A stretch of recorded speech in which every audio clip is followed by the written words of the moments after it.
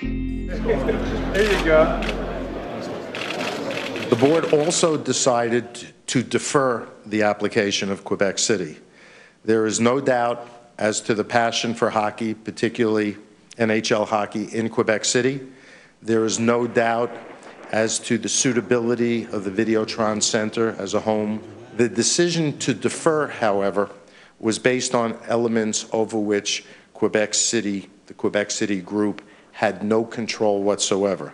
Significantly, the fluctuation of the Canadian dollar throughout the process, including its decline to a low of 68 cents earlier this year, was a factor.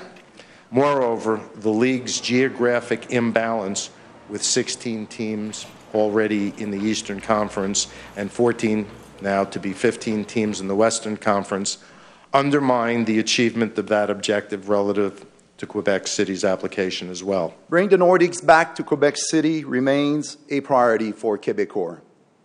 As you all know, we love the game.